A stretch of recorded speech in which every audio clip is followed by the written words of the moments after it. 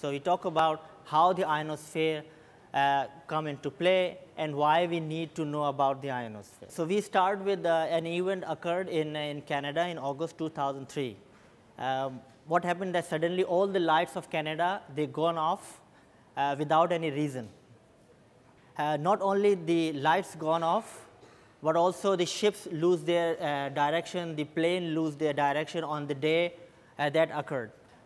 And also the GPS, which we use for our car navigation, it also lost the direction. So nobody know where to go. Suddenly all the GPS is off. And we see, we start seeing the lights, different colors of light in the, in the atmosphere, in, in, the, in the sky, which are of blue, blue, green, yellow, different colors of light suddenly start appearing in the sky. So people start talking about is it an earthquake or is it some kind of storm or some kind of hurricane or some alien attack on the Canada. But in fact, uh, it was the sun who was making these changes, sudden changes are so, so severe that all, the, all this happening in, a, in, a, in a few hours time in Canada. What is actually happening, in, in order to understand how, how sun did it, we try to understand what is actually sun, in fact. So we go into deep in the sun and try to understand what is actually the sun from inside. If we divide the sun, uh, if we try to understand the sun, we, we try to understand a pot on the stove which is cooking spaghetti different parts of the sun can be, uh, can be compared in this way. That for example, the, the, the cooker that is cooking the spaghetti, it is the deep inside the core of the sun.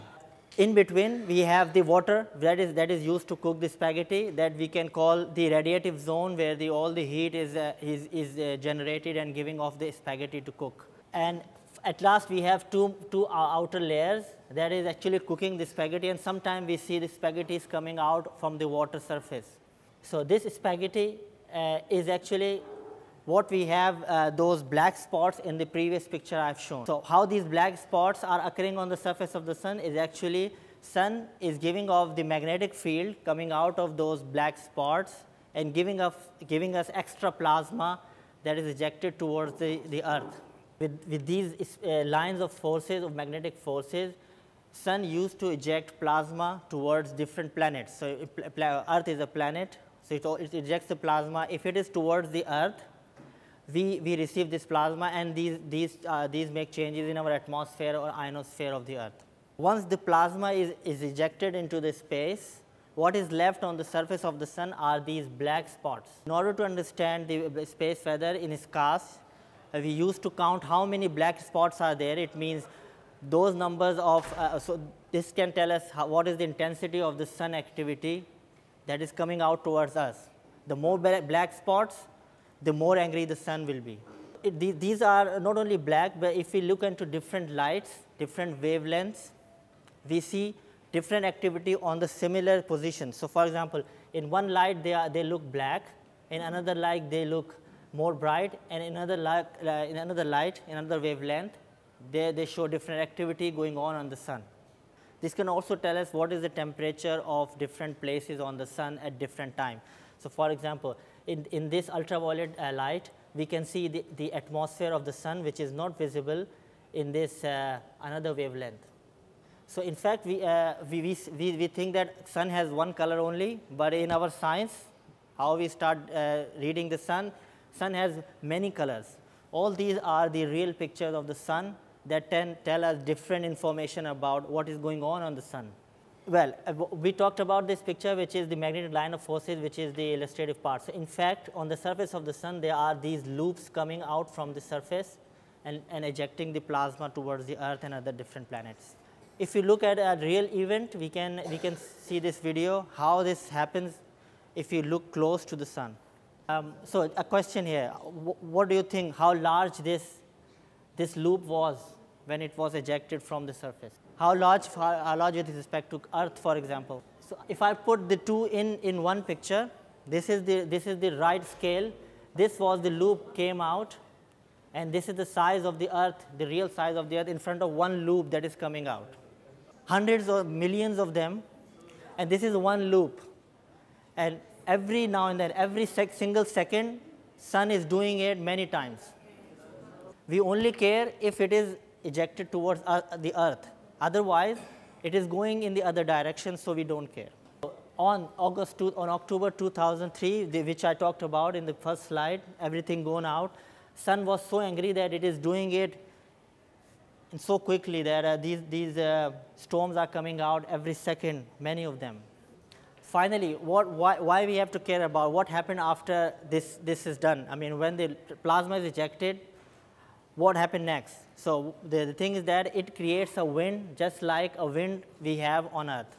If the wind is blowing in a normal way, we have the normal temperature and normal condition. But if the wind is blowing in a very fast way with more concentration, we have a storm like we have sandstorm here, we have solar storm in this space. So just for example, we, we can illustrate the whole thing in this video. This is the wind that is coming out from the sun and now it is going towards the earth. So ca can anybody tell uh, what is these, these blue, uh, these uh, indigo lines around the, around the earth?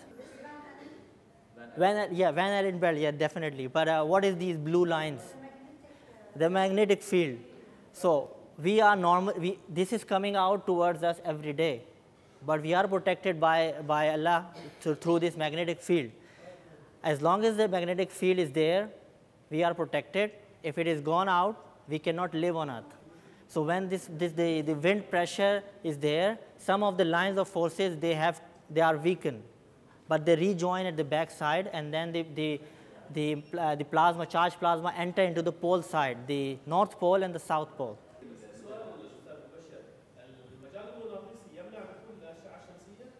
Does that stop uh, radiation from the sun to enter? The yes. So in, in, in, the, in the direct reaction, it stops. But if the pressure is too high, some of them that goes through.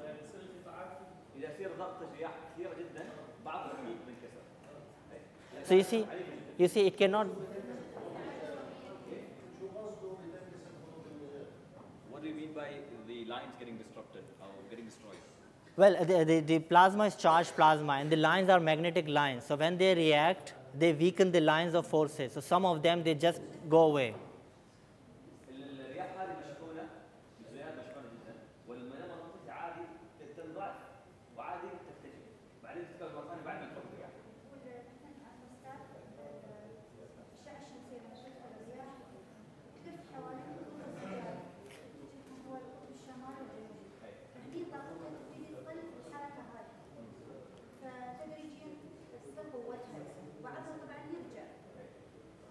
when the, uh, it's a statement, not a question, when the uh, radiation comes in, it starts going along with the... Yes, exactly, along the lines of forces. So the lines of forces, these lines, the blue lines of forces are, are coming into the pole side.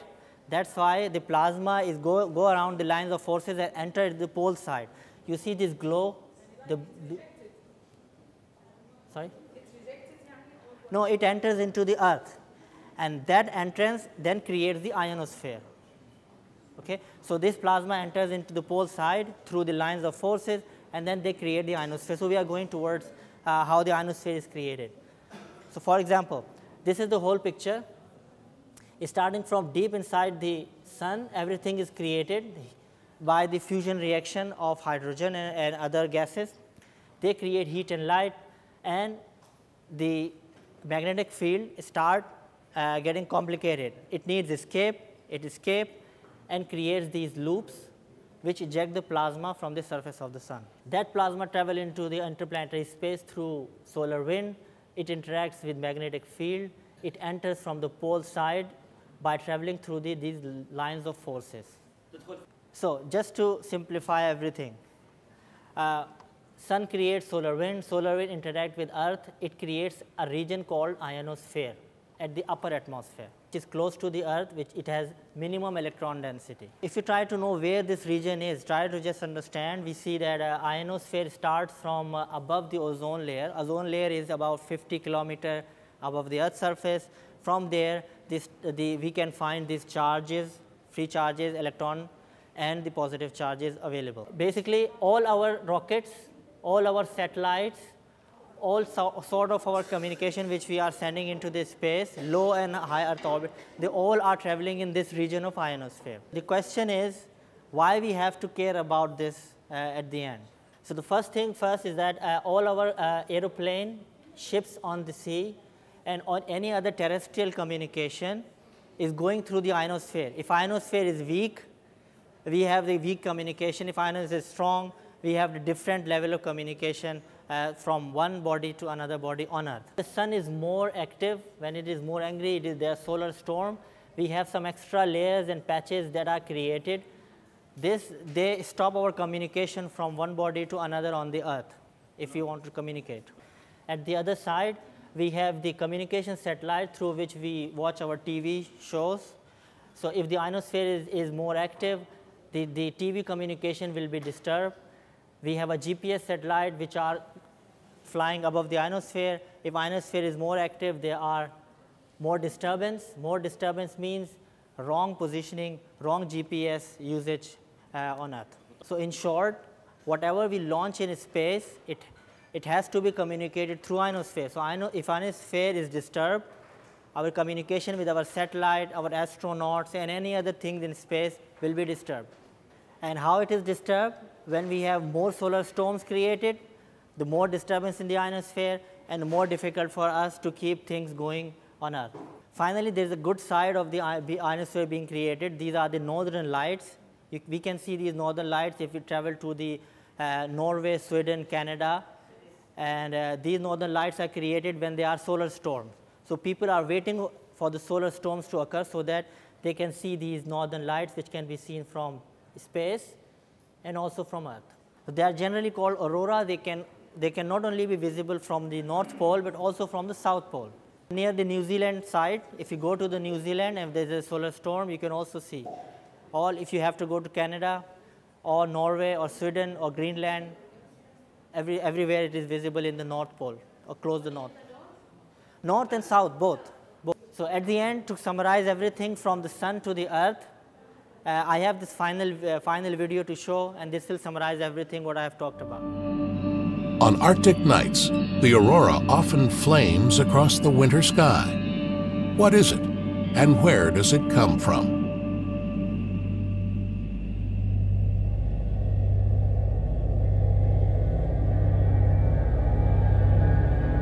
This is where the tale of the aurora starts. On the sun, a star of average size among billions of other stars in our Milky Way.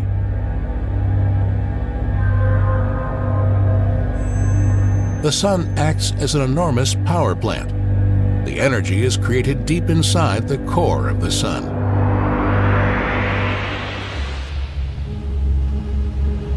Here the temperature is over 14 million degrees, and the pressure so enormous that hydrogen atoms are squeezed together into another element, helium. This nuclear reaction releases energy the light radiates outward from the core of the sun. In the outer layers, the heat moves to the surface in huge eddies called convection cells. These electrical currents of charged gas create magnetic fields inside the sun. In some places, strong magnetic fields push their way up through the surface. They slow down the eddies of hot gas. The surface cools and darker sunspots appear. The electrically charged gas is called plasma. The plasma drags the magnetic field further outwards. The magnetic field stretches and twists like a rubber band, and then the rubber band breaks. Several billion tons of plasma is hurled out from the sun. This is called a solar storm.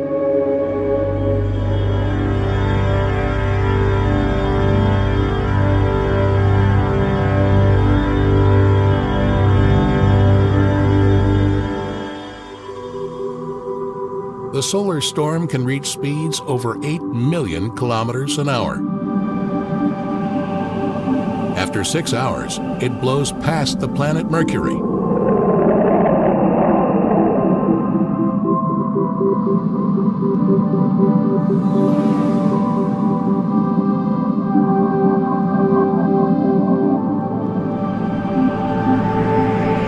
After 12 hours, the planet Venus.